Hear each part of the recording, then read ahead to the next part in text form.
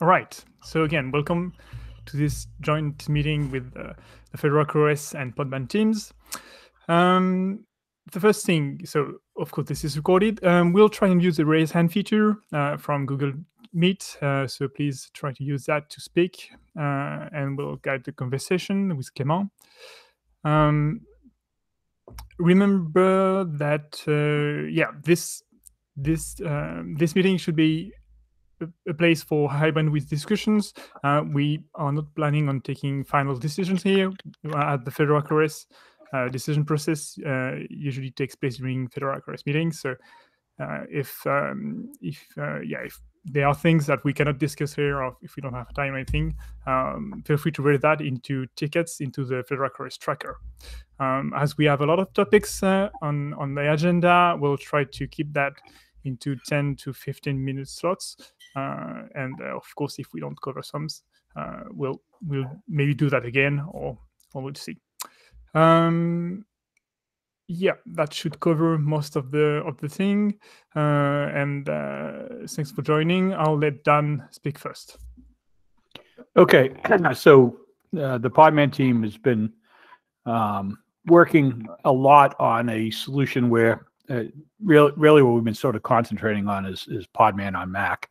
Um, so, it, you know, we basically got most of the features that Docker has at this point, and the last big advantage of Docker has over Podman is their Mac support. So uh, we've understood that for a while, and we've had um, Podman for Mac for a while. Um, but when you use Podman on Mac, we make you have to have a Linux box somewhere, similar to what Docker does um, but you have to have a Linux box that you connect connect to.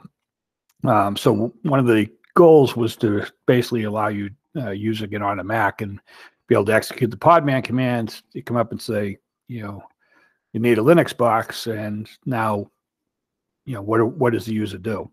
And so our solution to that has been basically looking around for a VM to uh, or a standard VM to just pull on behalf of the user and we've gone back and forth. We looked at CRC, we've looked at uh, uh, some community members have done things like Podman Machine and um, built on Tiny Linux and and different solutions have come up like that.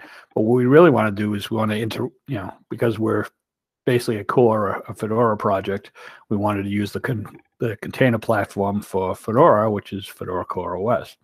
Um, and so uh, we've actually wrapped uh, um, basically Podman. Now, Podman has a command called Podman Machine, and you do a Podman Machine create, and it goes out and it grabs the Fedora Core OS image and brings it down to um, to the, the Mac and starts running it. We also want Podman Machine to work on on top of a, a Linux box and maybe eventually on top of a Windows box as well. Um, so the basic idea is to, to pull the Fedora Core OS image and then um, uh, for those that don't know, Podman has a, um, a fairly new what we call API v2, which is a, a remote API that allows us to run containers uh, remotely. Um, so it's a, a, REST API, and so Podman on the Mac would be communicating with Podman inside of Fedora Core OS to actually launch all of the containers. Um, so as we've worked with Fedora Core OS, we've have some decent problems with it. Uh, probably the biggest one right now is that Fedora Core OS does not default to cgroups v2. Um, and we think that, you know, we think that's a colossal um, problem um, at this point because we want, you know, I desperately want cgroups v1 to die as fast as, you know, RHEL 8 goes away. Uh, but uh, the, the so uh, that that would be our issue number one is getting Fedora to switch Fedora Core OS to switch to cgroups v2 by default. Um, second issue we have right now is we want to support both uh, um, running on top of x86 as well as the new Macs run on top of ARM. And there is a Fedora Core OS for ARM, but right now it's not compressed. So we want to know, you know, is that uh, is there a reason that the version of Fedora Core OS is not compressed by default? Um, and then the third issue is we want Fedora Core OS to uh, go on a diet. And we think at this point that having Fedora Core OS ship with both Podman and Moby Engine is really duplicating code and Moby, just removing Moby engine for, for Core OS removes about 200 uh, megabytes of, of storage. And we believe that Podman can implement um, just about it, everything that Docker can do on, on a platform. And we can run, if you install Podman Docker, which just sets it up in, in Docker mode to be able to support the remote API. And if anybody wants to run Docker commands, it would work. Um, but that would make I mean, the, the problem right now is it's uh, Fedora Core OS is, I think, about uh, nearly two gigabytes in size. So when we're pulling it down, the the initial user experience on the Mac is not great.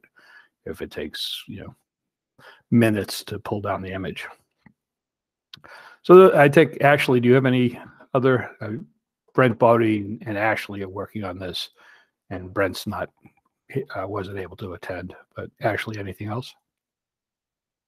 Um, I think that basically covers uh, it from what Frank said.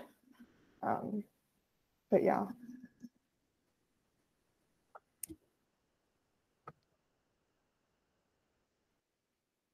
So I guess at this point we have a discussion. Or everybody just says what Yeah, Dan Colin- Walsh wants is, is great and we'll just do it. It's really what I want. Yeah. Yeah, you, you brought up a lot of points. Um, like I think one thing around messaging, like the C groups V1 is, you know, it's a default. Um, and certainly for this use case, like be pretty easy to uh, edit. Like you can create an ignition config today that changes that default. That would mean an additional reboot the first time the machine is is you know started, um, which I can't imagine would be too bad of a hit. Like it's a little bit of latency, but you know, if if we want to mitigate but that, why- Fe- Fedora has been defaulted to C groups v2 for since Fedora 33, which is a year and something. Fedora Right. 33 is about to go. Fedora Core OS is supposed to be, you know, what the future of, of containers is, and and why is it stuck here? And this one, forgetting about Podman issue, this just drives me crazy that we're not, you guys aren't a C groups v2 at this point. Right. These Yeah. well, right. All your issues are interconnected, and the reason for that default right is that we ship Moby, which doesn't support this, right?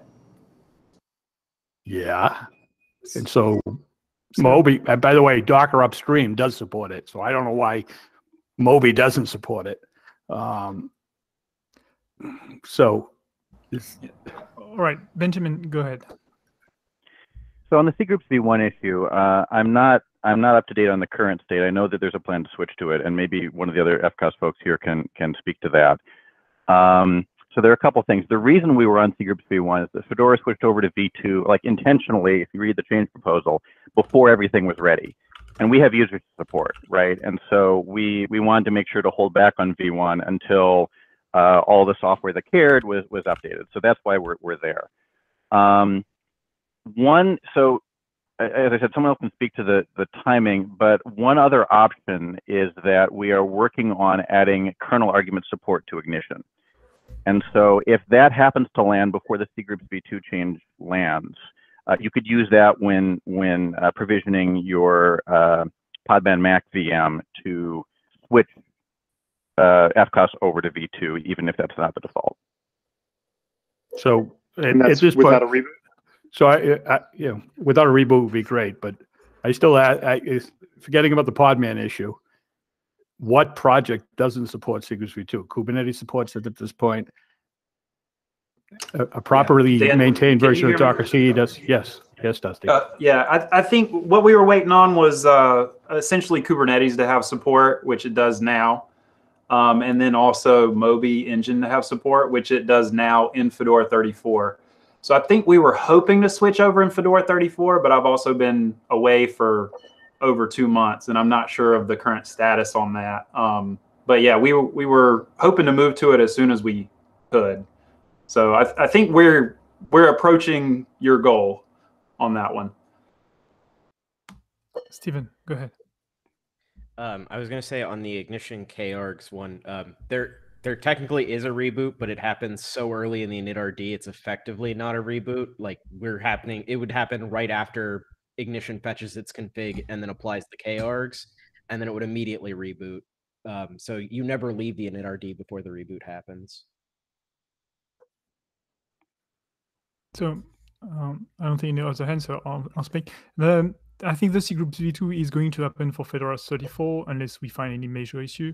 So that should, which Fedora 34 is coming in like really short time frame. So uh, that should be fixed like really, really soon.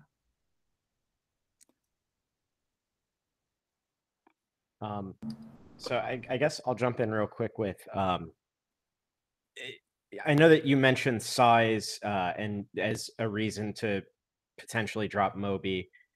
Is there is there a world where we should like we should basically drop all container runtimes and then just have a extension built in that pulls in Docker or in this case, I guess Moby since they can't use the official one or Podman or CRI-O at a specific version and and we trim the image by that much more, like three times. Sorry, Benjamin. I think before we switch to that, are we happy with cgroup v2? I think the, the final word was that it's going to happen in the F34 timeframe to the switch to F34. Okay, so we Fedora, Core, Fedora Core OS will ship simultaneously with Fedora 34. No. In a close, really close time frame. We don't, uh, we don't have the exact same. Uh, we don't rebase on the same day, but um, we we try. We will test the Fedora 34 content, and and we will try to re, to rebase. We we we have a stream to rebase on that uh, ready, and and we'll do the switch uh, hopefully shortly after the release. So we're, we're actually rebasing the the next stream right now. So in the next set of releases, uh, you should be able to use the next stream, uh, and uh, which well, I guess that doesn't automatically gives us cgroups v2, but we could make that happen so that it happens in the next stream first.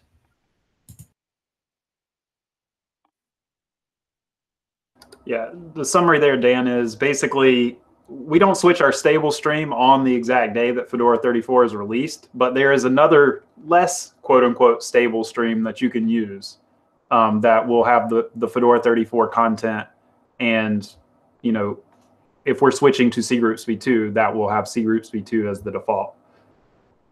So that would be available on Fedora 34 release day. Does that okay. make sense? Brent, Brent has joined us. Brent, um, where are you grabbing the Fedora CoreOS image from? Um, for Intel, I'm grabbing it uh, directly from the download their download page, but I am using the next stream. And then for AArch64, I'm grabbing it from I think the only place that's available, um, which is a side location done by one of the probably one of the folks on this call, maybe. Those are the two locations. Okay. All right. So and there, uh, it, I think it's already next stream. Like, I think the AArch64 is already following the the next stream. I think. So this is the next topic, which is AArch64 support. And so as you've discovered, we don't have full AArch64 support right now. And I think we have Jakub here. We maybe he can give us an update on the status of that work for Fedora CoreOS. Like from my side, I'm I'm still in the same spot that I'm building it locally uh, on hardware that I have available and pushing it to Fedora people. Um, I got a bit uh, distracted by uh, other issues in the past weeks, and uh, I will be also on PTO next week, so I will not be looking into it directly, and don't expect much progress for the next week, unfortunately. Uh, but I plan to continue working on it as I'm uh, currently onboarding onto the infra of the CoreOS and trying to look into all the all the all the work that would need to be done there. hopefully, make it official. Others will not object. Yep. And I'll be back next week as well. Uh, so I can, me and Jakub can kind of work on it together. As a consumer of it, I just let you guys know that I've had no problems with it, the images. other than uncompressed downloads and the metadata, download metadata not being present. Cool. I'm working on Brent. the compression side at the moment. Yeah, Yeah. Bre- Brent, before you got here, um, uh, Stephen pointed out that you can actually reboot into Cgroups v2 um, fairly seamlessly or hid, hidden from the user um, via the ignition script. So we might want to investigate that I- further. Dan, I that has not that. landed yet. It should land pretty soon. Yeah, I did hear that, and I heard that it would be soon. Okay. Yeah. Very well. And the Fedora 34 timeframe lines up with probably a, a better approximation of when we'd really be pushing Podman machine out. So. Correct.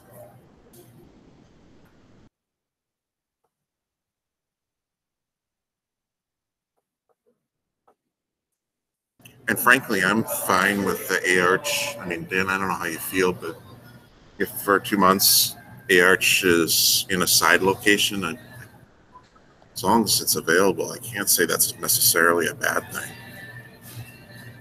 Uh, The, the only problem there is, is that we have to have that coded into Podman, right? That location. Yeah, If but that lo- If that location goes away, then we're in trouble. We don't, I don't know if they want to ship in that location forever. Uh, the forever. Fair enough. There's probably also the other issue. It's not a CDN, right? So uh, Right. people around the world may have wildly varying download experience.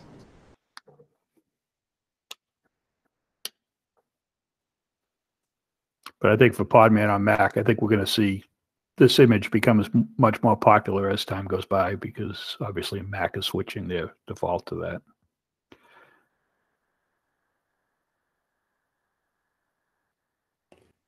Benjamin, you want to go Oh, next? yeah, okay, sorry. Sure. So in the short term, if getting those images compressed uh, would help unblock you, um, Jakub, that should just be a fairly small change to the pipeline. I, um, is that something that we could do? And then uh, the other thing I wanted to check, uh, Brent, was that you were using, when you say you're getting the x86 image from the download page, uh, is Podman actually fetching stream metadata and going through that whole process? Correct. Yeah, for me, for me, I was blocked onto on uh, infra issues that were mostly blocking me for the, doing like regular push. Like I most probably can push actually everything except AArch64 for whatever reason. I have issues with the builder at the moment. Where it was issue with the storage, and yeah, I'm working on it. Hopefully, it will be fixed. I hoped it it been done by Friday, but unfortunately, there were unforeseen issues that I had. Okay, Dalton. I was wondering if this covers the AWS AMIs. I've been publishing AMIs publicly for a couple months now, but I would love to stop doing that since I'm not in any way affiliated. Dalton, are you referring to AArch64 AWS AMIs? Okay. Yeah, I've been publishing those and using them, but would love a more official version. Is that the same pipeline? Yep. Yeah, I think we would, once we had official AArch64 images, we'd probably want to create appropriate AMIs for them as well. Jonathan? Yeah, in the short term, we could uh, you could push the. Uh, I'm talking to Jakub. Uh, you could push the uh, AR64 bits to uh, the same bucket that we use. We have like a slash devel uh, top directory, so you know uh, it can be semi-stable, and at least it's on a, a CDN. So uh, yeah, so Podman could could hook into that. Mm, Sure, uh, but I'm I, I don't think I- I have yet access. I have not yet requested access for the Fedora Core side of the infrastructure. Yeah, we can. Well, we can we can do that offline. Yeah. Okay. Thanks. Okay, Dalton again. You still have your um, yeah. Sorry. Oh, okay, no worries. All right. Um, so AArch64 is in progress. Do we have anything else to talk about here? about that. Uh, Colin, yeah. Uh, I was actually going to move on to a different topic, but uh, Yeah. it's kind of related to this. If that's that's okay, real quick. So, I, I know we talked about this before, but uh, are in place updates in scope for this? Like, are today is the Podman tool injecting ignition to disable Zincati, or or are we planning that basically the user experience would be, you know, they use Podman machine and then they spin up the machine, but then like instead of having like a, a command to like redownload the image and they they instead just do like the in place OSTree updates and you know like pull container images in place or or are you thinking it'd more be like the latter like is it would it be stateless or or kind of like a hybrid where like last I looked at the Docker one they explicitly created a separate writable data store but then just blew away the OS image like have, is there a plan for the which of those approaches My I- I plan think- was to, to talk to, to Colin about it. exactly. We want we want you to decide that, not us. I mean, I think we give you some basic ideas and then take your advice. Um, yeah yeah no I mean I think Okay, one of our goals one of our goals is to to show the power of, of Fedora Core OS. So it's not, you know, we, we don't want we don't want to over engineer what Podman does, right? So if Core OS can manage its life cycle, that would be great.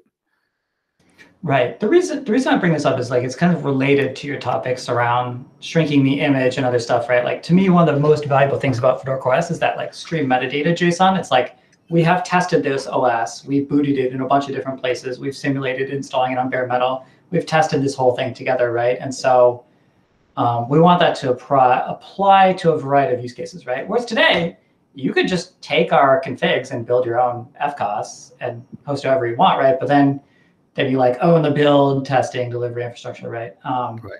And so, yeah, and if you do that, then you also need to think about how you handle updates, right? So, like a valuable point of F- Fedora CoreOS is definitely like in this in a scenario like this, as well as you know production cloud scenario, you can do in place updates pretty cheaply and keep your existing data. But um, yeah, it, Yeah. it's it's an important aspect of this, right? Because I, I- think I mean definitely one thing you know you'll notice if you use Fedora CoreOS for a little bit is like right now sometimes the node will just reboot while you're like SSH in or something, right? And like so you have to think about that. Um, I mean, to me this is like good, but uh, you know, do you want to have the podman command at least like have basic control over Zincati or something like that?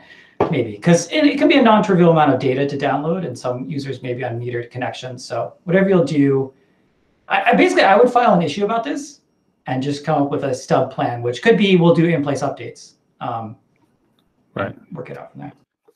I, yeah, I would like, I mean, in my opinion, we, we deal with that when the people complain about it. Um, and, you know, but yes, your other comment about us managing an operating system, that, that's a definitely no. That's been, you know, we're, we, we're not going to be in the operating system. Podman team is not going to be in the operating system business. So, Yeah, I mean. I feel like this is a little bit of a special corner use case of Fedora CoreOS, which is like you you're not necessarily running like a server application that needs to be up all the time and people are connecting to it. Basically, you're you're running a development workflow for people, right? And um, you know, while you're up and developing and you're interacting with it, you don't want it to go down, right? So like the fact that we have automated updates that happen, um, you know, you can schedule them or whatnot. It seems like that's not necessarily something you want to do. Um, like, you know, you don't want to be in the middle of development for somebody and their machine go down or their Podman backend machine go down. Um, so it seems like you would want to treat it slightly differently.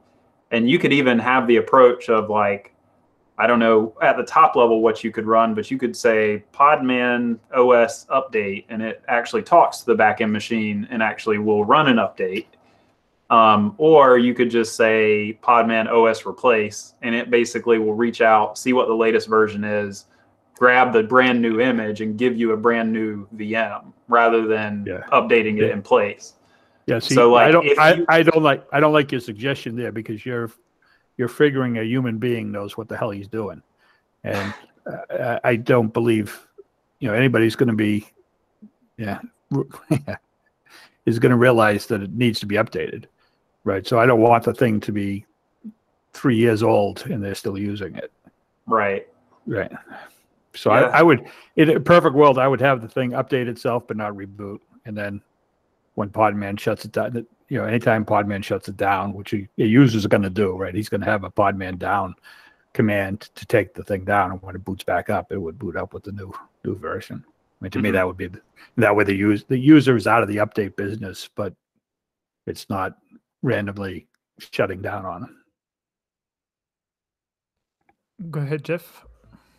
So, as the user who's probably going to complain to both teams about this down the road, um, I'd like to kind of plant the flag of um, it, it would be really nice to uh, either have uh, Zincati send a message to Podman or Podman pick up a status from Zincati that says, hey, there is a new update available and show that as a line when you send a Podman command, right?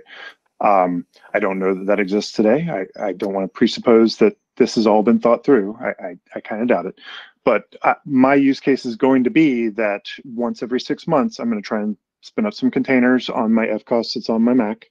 And um, I'm going to hope that it succeeds. But if it doesn't, I would like it to tell me, um, hey, you could use updating your machine. And a Podman machine update is something I'm perfectly willing to run if something tells me to. And I would prefer to find out from Podman in that case. So when we get an issue together and start iterating on it, I, I'd love to provide some feedback on it. Yep. Thanks. Yeah, and I think Stephen even suggested, oh, we could even propose tying a particular FCOS version to the version of Podman that's running, right? So on the host on Mac, you know that this version of Podman was tested with FCOS version XYZ, right? And if it doesn't match, you maybe give the user a message and say, hey, this version was tested with that. You might want to consider updating or something along those lines. But like Jeff said, there's a lot of options here. We should probably definitely talk about that Yeah. user experience when we get there. I think over time we're going to figure those out. You know, and we're the Podman team is going to have to be real good about you know version control. You know that older versions of Podman can work with newer versions and vice versa.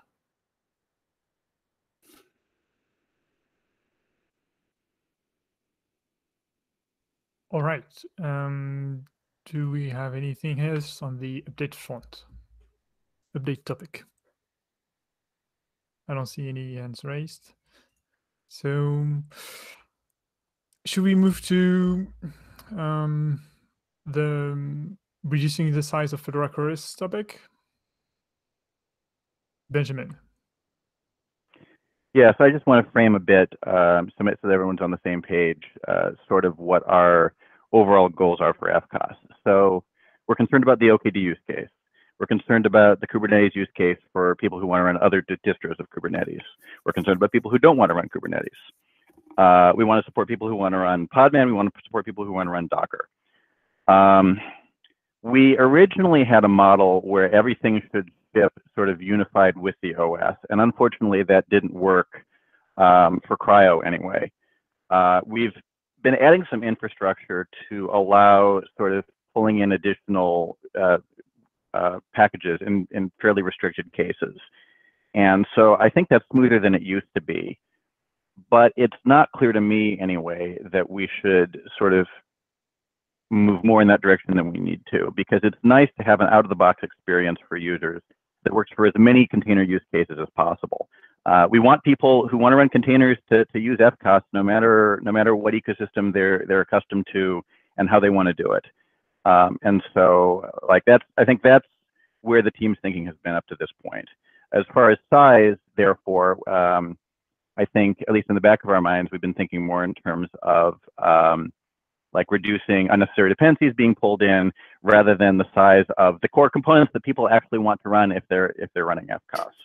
Yeah. Um, so that's my perspective, and I'm interested in, in if other folks on the team have a different view, you know, please speak up. I, I would just say that would work if if Golang wasn't the fattest thing on the planet, and and the more Golang container things we shove in there, the fatter and fatter it gets. As I said, uh, Brent did an experiment yesterday and removed just Docker, just Moby Engine, and runc, and he del- eliminated about twenty percent of the size of Fedora Core That just Moby container. It, Moby brings in Moby. It brings in the Docker command, Docker C, uh, D, containerd, and runc. Each one of those is a massive Go program that is at least 20 megabytes to 50 megabytes, each one of those.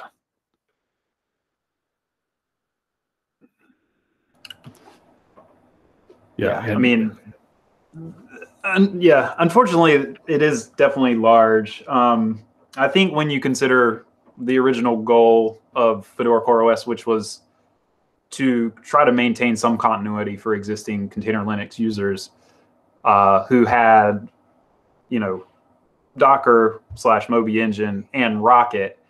Um, you know, Rocket was not the most commonly used, so we ended up just kind of pulling forward the Docker piece of it. But that's a huge piece, and I think if we were to try to remove it now, or make it like something that's just added on secondary, it would, you know, it. I don't think it'd be very good for those people who decided to take the journey with us and and move over to Fedora CoreOS. Um, you know, a lot of people who do try Podman like it, which is good, but I don't think we should necessarily force them in that direction um, by removing it. Now, other options that we could possibly have are, um, you know, actually making a specific Podman machine version of FCOS that just removes some things, right? And so it's basically FCOS, but without a few packages. Uh, but it would be a separate thing to download, which is more overhead, right? But is it worth it, right? Is it worth it to reduce the size so that you don't get those pieces you don't want, right? Um, so it's all a balancing act, but that's that's another option too that we have. Um, you know, one example is I use Silverblue, but uh, and I don't know if this is still the case. I remove Firefox from the base layer because I want to run it as a Flatpak, right? Um, so we could do something like that if we thought it was uh, worth it to us to remove Moby Engine um, from a Podman machine version of FCOS, right? And it would actually show, oh, these these packages have been removed um, when you do an rpm-ostree status or something like that. But if they're concerned about the initial download size and the update download size, it doesn't sort of intentionally today doesn't help with that. Like because yeah, the idea is you can still reset to that base image. I mean, the, the other thing, so my arguments against against Moby Engine are twofold. First, I think that Podman can provide the Docker CLI with the DOCKER adjective, and it can provide an API to satisfy compose and and other um, Docker calls. Now, will there be 100% correct?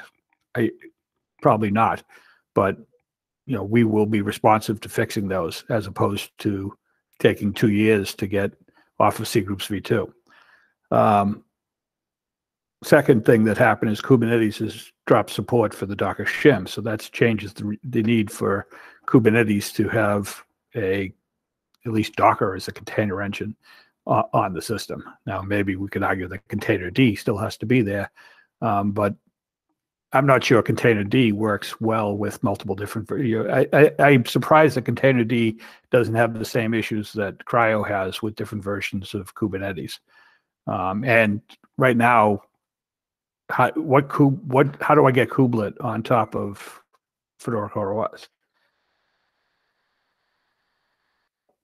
So um, just one thing to note here. Uh, um, and uh, I'll leave the Dalton next, um, is that we have existing user using Docker uh, on the on Fedora CoreOS. So if we remove that at some point from the image, we have we need something to migrate them uh, from the current storage of all the container and everything that they have on Node to Podman, and that's something big, and I don't think we have that right now. Mm. Um, Dalton, go ahead. Yeah, I think maybe the other side of that coin is it doesn't seem like it's not even plausible to remove Docker CLI while Docker shim is in use until v122. So there's at least like a time required. Like at the absolute earliest would be when 122 is no longer, or 121 is no longer in use. It's like there's a substantial usage of the Docker CLI until viable container runtimes are available. I would, I don't necessarily care whether or not things are like bundled in or easily like able to layer in. Uh, but it seems like the track record so far is that the like the layering approach is pretty hacky at the moment. So like I would be super wary of of like you know if you're going to replace a major component that is like the reason people are using Fedora CoreOS, it has to be like a really good experience before but like before any changes made like that. Yeah. Right. Yeah. And like, first of all, we would want to get all of our technical ducks in a row and make it a really good experience. And even if we did that, it's still a hot button topic, right? Like container wars are a thing.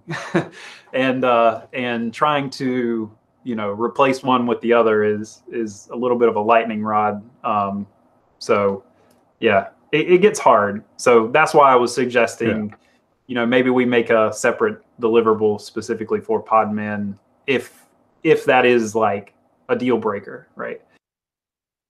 I I don't think it's a deal breaker. It just again, the the deal breaker is that you guys aren't in cgroups v2 because of Moby Engine, and that drives me out of my friggin' mind. Um, so we, we that- can that's- fix that. We can fix yeah, that. That that's yeah.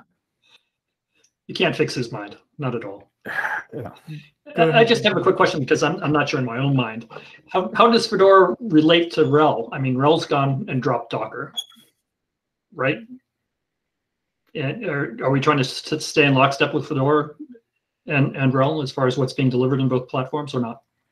I can speak to how Fedora CoreOS re- relates to RHEL CoreOS, which is a somewhat different question.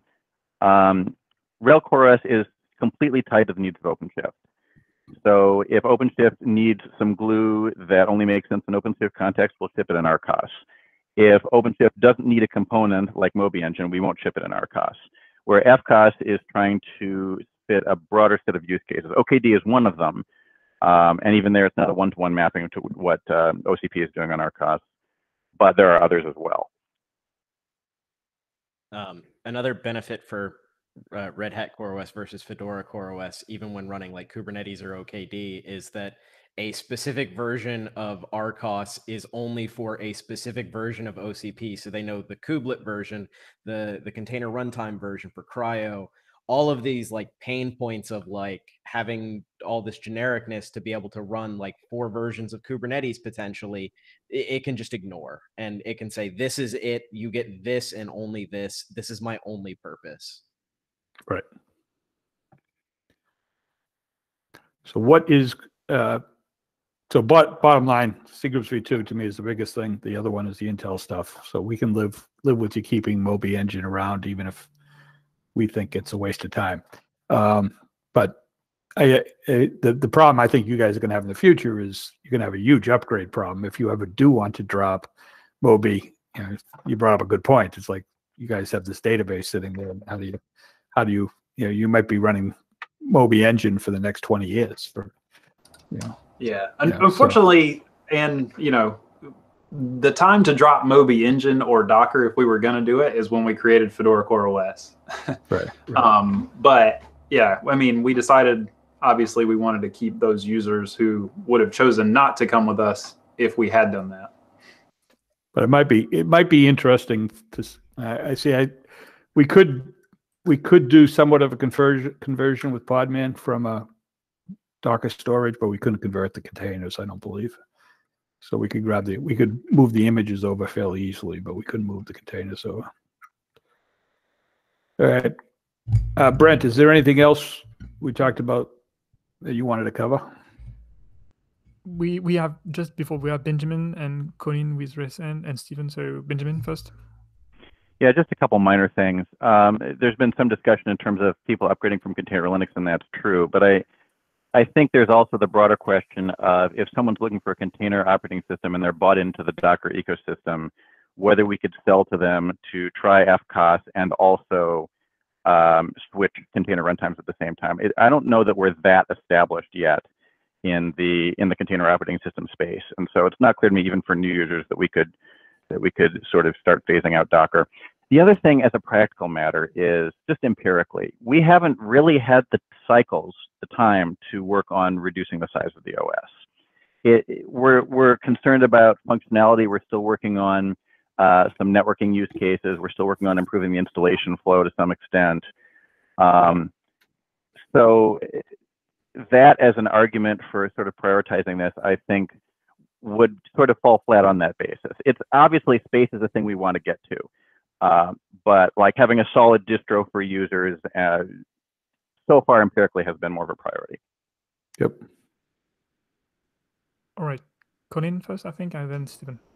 Yeah, uh, just what, so I know there was a conversational thread at one point, like, why don't we bake in everything? And I, and I guess one, like one pushback I wanted to, and I'll write this on a ticket, like, one pushback I think I have on that is, you know, our current containers may not be, are definitely not the end of this space, right? Like there's Kata containers, you know, like there are people out there who are like, okay, I want to like fully isolate my containers.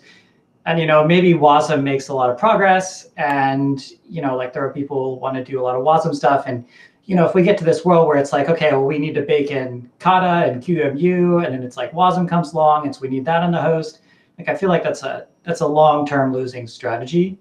Um, like, so we clearly, yeah, the reasons we have Docker have been described. Uh, removing Podman by default, I think would be removing all of them by default seems like a step too far. I'm just, I, I guess I find myself leaning a little bit more towards let's polish a mechanism to extend and make sure we can lifecycle bind CRI-O and all that stuff, and cover testing of those um, too, because like a huge gap in our whole testing matrix is like actually testing that extensions work. So that's kind of where my head's at. Stephen? Yeah, um, I wanted to uh, follow up after Dusty's comment about it potentially being too late to remove things from the the initial image. I, I don't think so. I, I think that there's a fair amount of it will still work on upgrades. So if you had an existing machine, it will keep working. And then as long as we provide a solid enough deprecation window and good enough messaging, I think it's fair to cut things out of the base image, provided there's some not terrible workaround to get yourself back to that state if you need it. And if we can build this uh, UX around extensions or or just improving package layering UX, so it's not like write a systemd unit that does some bash script and then reboots. Mm-hmm. I, I, think it's I, I think that that's at that point is fair to to put out the messaging. Hey, in the next version, uh, the next major version of Fedora, when the stable stream or when the testing stream gets there, we're going to yank Moby or we're going to yank X package. Here's how you get it back and then we provide documentation on that. I think that that's sufficient personally. Yeah i mean especially if in the case of upgrades for example if you're upgrading a system from one that had moby engine in there to one that didn't and the system detected that then it could convert it into an extension right? And now it's just an extension that lives with that os so that user did not experience a you know uh, a you know downtime or whatever. It was just converted into an extension and it just worked. Yeah it definitely needs some thought and and some uh, some communication. And we first of all have to decide if it's something that we even want to do right? And then we can try to execute on it all right christian? Um, yeah hi everybody. Uh, just because that came up um, i want to loud christian you bit loud christian. Oh sorry. Yeah, just because it came up, uh, I, I want to just say that I'm strongly opposed uh, to removing Podman from FCOS because that would make uh, OKD installing OKD much more difficult since we boot FCOS and then we use Podman to actually um, yeah extract stuff. Uh, so we do need Podman in FCOS for OKD right now. Um, so I, am opposed to removing that at least, and I'm also um, I'm, I'm in favor of removing Moby. And I think if we can find a way to kind of convert that into an extension, that would be uh, that would be great. So Christian, uh, in the in the proposed idea that I had thrown out in the chat about removing all three, essentially, there would be a mechanism in ignition to say I want Podman, and it would just install it during ignition time. So by the time that you get to the real root where the user would actually try and go and say I want OKD, Podman exists at that point, and it's just not shipped in the Okay, that- image. that will- It's just pulled seamlessly. Okay, that, that would actually work for us then. Yep.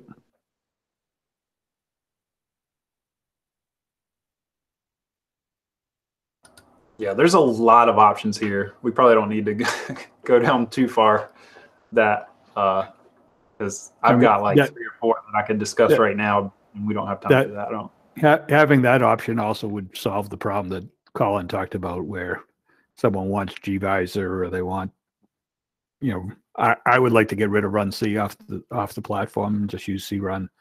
Just again because it's 20 megabytes. It's you know, and they basically do the same thing, and we default to crun now. Um, and run Docker runs fine with crun. Um, but yeah, libkrun in the future. There's there's lots of new OCI runtimes coming up. All right, Jeff, and then Peter. All right, so it, it sounds like uh, we've got a person in the community who would like to get this change plumbed through Fedora CoreOS, and they're approaching us and asking us for it. And I'm hearing a lot of um, ways that we potentially could do it and reasons for doing it and not doing it. Um, one of the real crisp takeaways that I'd like to get from this meeting is, are we willing to, at some point in the future, actually do something like this, or should we just kind of set a baseline of we don't ever intend to do this? Can we can we reach that level of agreement in this call? So I'll just speak here because I I said this at the beginning. So the idea is just like to jumpstart discussion here, and if we want to reach specific agreements or specific uh, decision on on topics, uh, that should happen in the tracker in or in the Fedora CoreOS meeting. So um, feel free to to file issues, and we'll discuss there, and we'll bring that up and and keep keep it going, and we'll convert the notes, the current notes, into into issues. Uh, Peter, go ahead.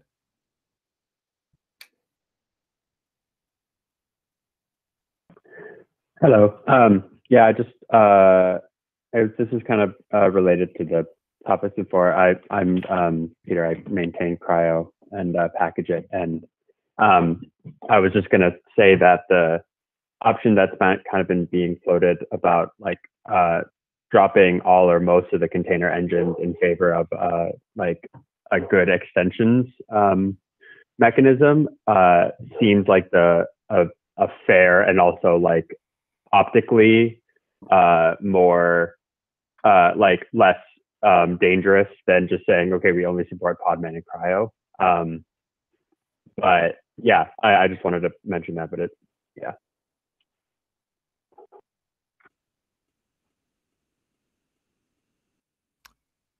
All right, I see Christian with your hand raised. Yeah. Yeah, uh, thinking about the optics, I'm I'm not as worried about that because we've kind of already ripped the band-aid off of the Docker thing. I, I would say, but um, yeah, maybe some community members really uh, want that and uh, rely on it. But I think as long as we kind of can keep it working even as as as an extension, I think that would be enough. I don't, I don't, I wouldn't see a problem with preferring Podman over Docker as as as a distribution. But that's just my my opinion.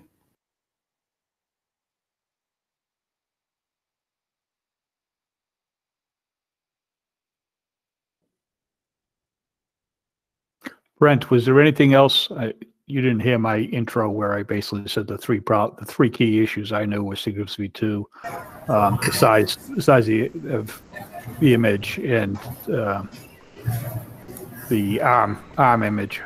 Was there anything else that you wanted to talk about? I think everything looked good. Um, um, there were a couple of surprises in how the ignition file worked, which we can debate whether that's a bug or working as designed, but we have a decent workaround. Uh, as as Colin uh, correctly pointed out when we were looking at it, if we were to auto start uh, the Podman socket for the users and for root, then we wouldn't have this weird ignition file that has to go through and do all that. Um, and I think that's a valid point. I, I don't know. I don't know if Fedora would allow us to auto start for just FCOS and not Fedora, but uh, that's the only other thing. And but again, we haven't really stressed, other than just downloading, you know, getting the metadata, parsing it out, checking the SHA against something local, and booting it. That's about as far as we are right now. And can we connect to the socket, our socket? Um, Collins give me great links for. Um, we need a mechanism to say that we're up and running. And they do similar for their testing. So he's given me a link on how to implement that. Um, so I think right now we're sitting reasonably pretty on that. Business as usual.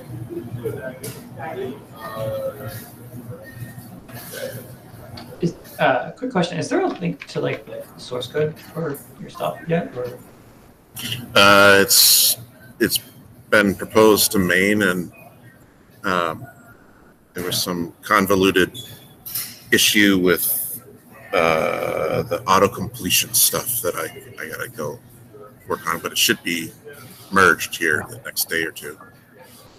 Uh, Colin, just look for the Podman machine pull request. It's all in there.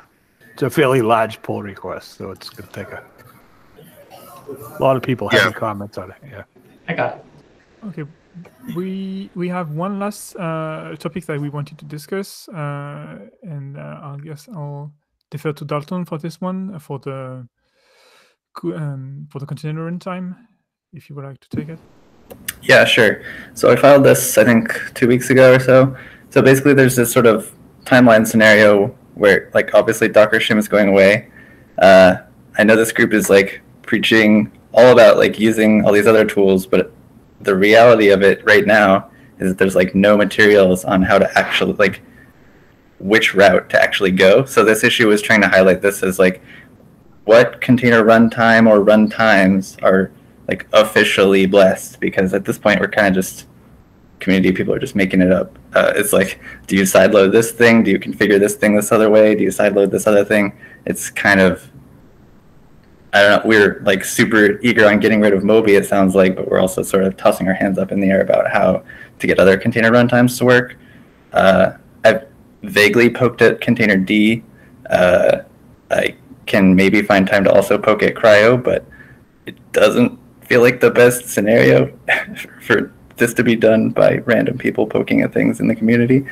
Um, so I was really hoping we could come to more answers about container runtimes and like officially supporting and testing some of them. Um, and th- I think that does tie into some of the layering stuff, maybe, or some of the shipped by default types of discussions as well. And Dalton, you're talking about in the context of Kubernetes, right? Yeah, Kubernetes container runtime and the Docker Shim deprecation window coming up.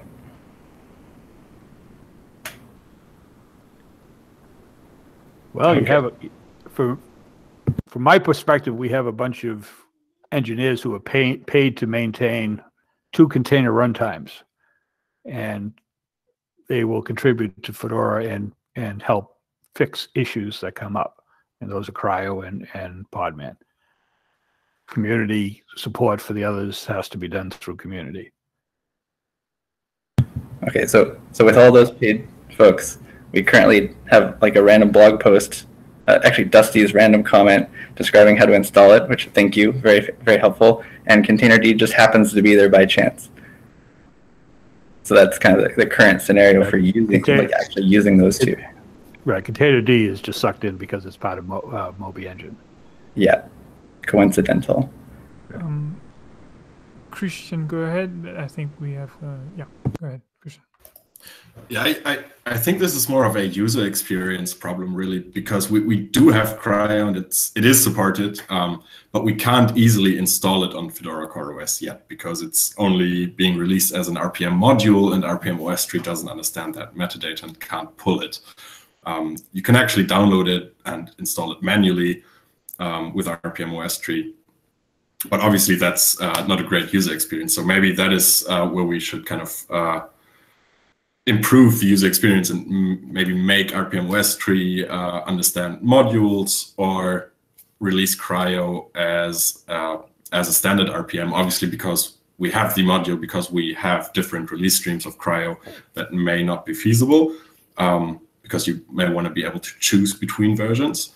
Uh, but yeah, if if RPM OS tree understood uh, the module metadata and were able to pull from those uh, YUM repositories or module repositories, um, I think that would I think that would alleviate that issue, right? Then we could just have CRI-O as a as an extension, and um, most people should be happy with that. I I'd say.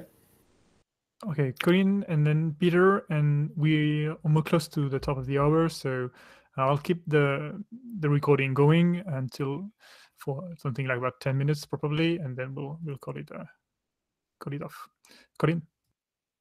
Uh, yeah, I just say Dalton. I think you're absolutely right to call this out as a enormous gap. Um, and one one thing I am hopeful we can do at some point is like I, would love to at least be able to have informing CI from Typhoon and other groups using Fedora CoreOS. Like, because yeah, definitely like we just have a general gap with FCOS and upstream Kubernetes in general, right? And you know, I, I actually haven't even looked at what Typhoon CI is, but um, I think you know, solving this problem is part of solving that problem too.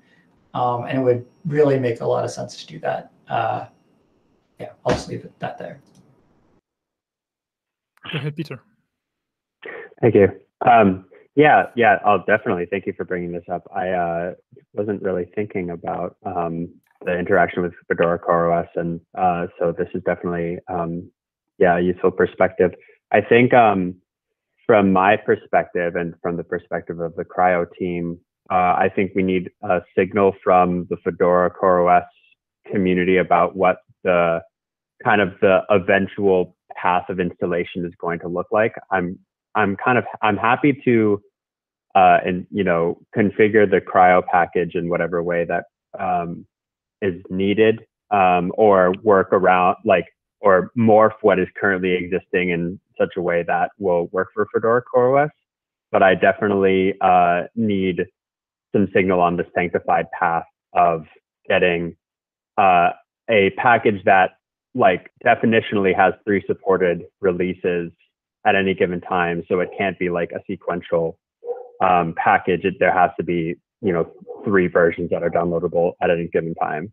Um, I'm also happy to work with my team on, uh, and uh, like we also have someone who works on the Kubernetes release team. So I'm happy to work with him on like grouping together the kubelet and CRI-O and cri-tools, uh, all of these things so that there's like a sanctified, like, let's make this Fedora CoreOS node Kubernetes capable.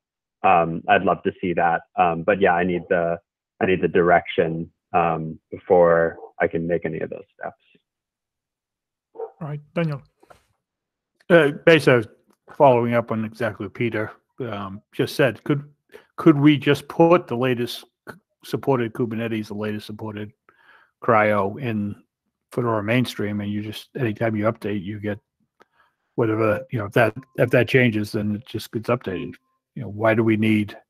Why don't we have those in the mainstream?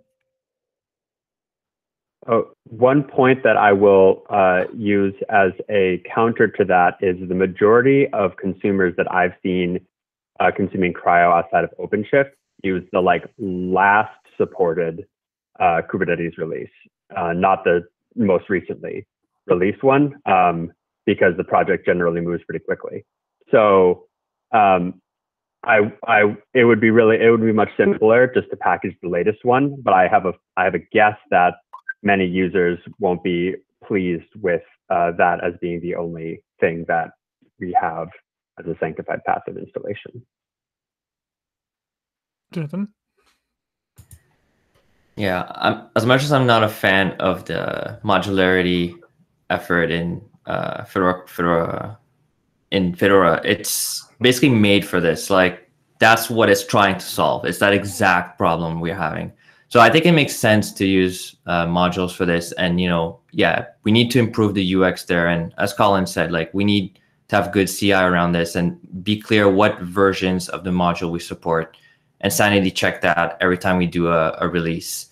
Um, so if there's agreement on like the specific uh, streams we want to support, uh, we can hook that stuff up. The RPM um, issue, I think we could work around that, or otherwise we'll just have to tackle it.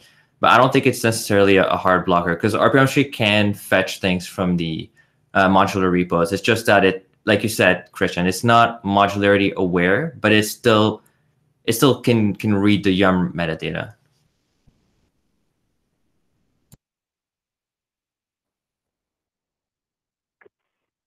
Yeah. So my my ideal, I guess, in this situation, yeah, I agree, um, Jonathan, that like the modularity UX uh, is not great in a lot of ways, um, but it is literally like that's why we adopted it despite all of the difficulties that we have with it is because it's literally uh, for this purpose so uh, ideally i would say like my my my ideal is that there's first class support for module uh, you know fedora modules in um in rpm os tree and then and then we can work together on configuring the packages per kubernetes release within that module and i think that will be that that is like the most idiomatic uh, path in from my perspective. Christian, go ahead. Yeah, I agree with that uh, because if, if we were to kind of uh, pin one version and say this is the version that FCOS ships, that might create problems downstream for uh, Typhoon or OKD if, if those ver versions aren't the ones that are baked in.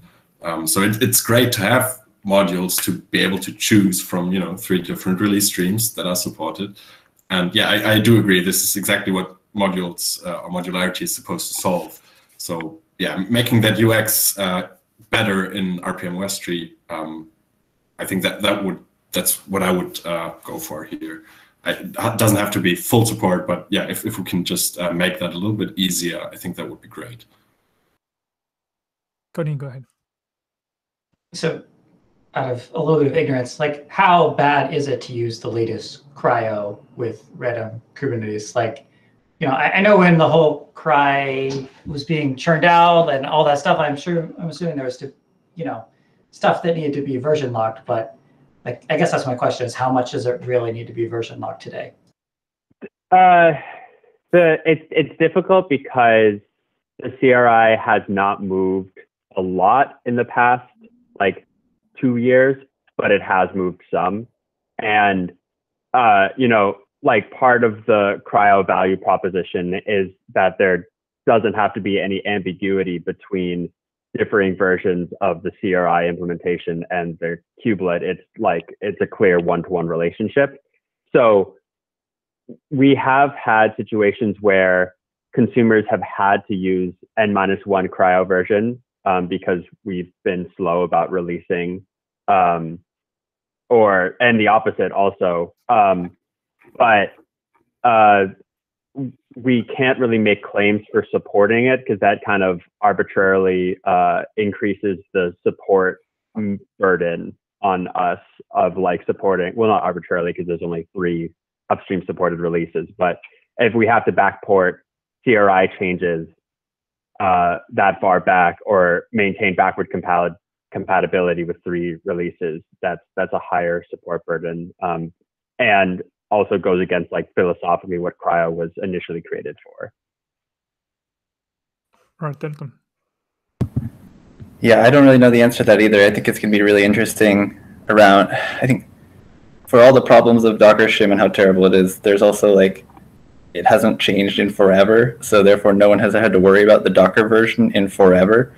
Um, whereas with we're about to like see the ecosystem move towards containerd and CRI-O or things like that, and maybe have to start caring about this. I would, I'm vaguely hopeful that if things are up to the CRI like 1.0 version standard, we can all just, you know, say like, okay, it's good enough. Kubernetes is happy enough with it, but I don't know if that's actually going to pan out. Uh, like the thing that you're worried about, Peter, as well.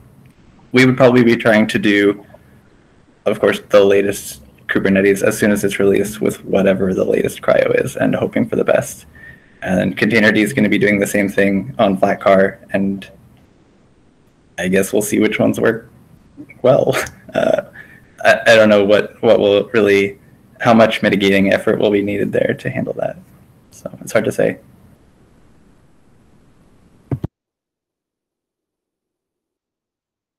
Yeah, and, and part of the trouble about this conversation is that like, yeah, the the Docker shim, like the world didn't have to worry about this version uh, problem because Docker shim was like never updated.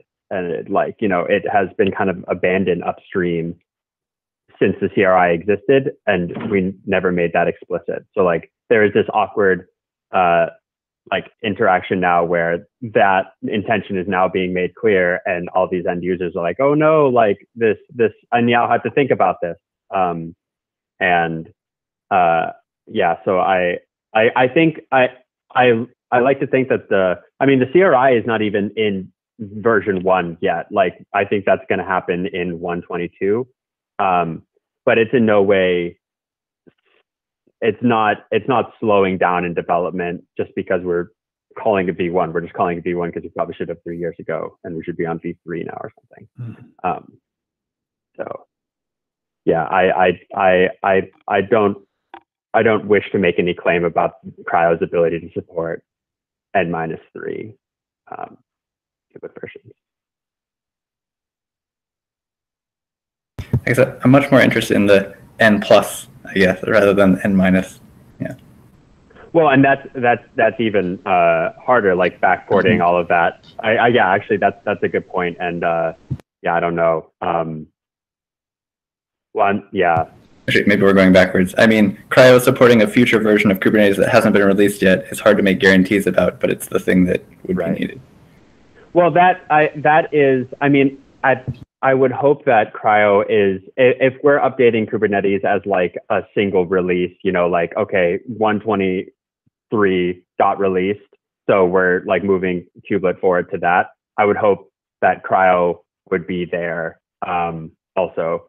So I I think like if we're only worried about the most recent release, that uh, I I don't expect us to take you know that long to upgrade CRI-O um, just to catch up to where the kubelet is far ahead of us. I'm worried about looking backward more.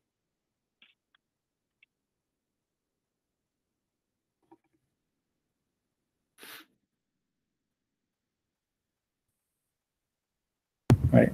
Well, thanks for talking about the container runtime stuff. Yeah.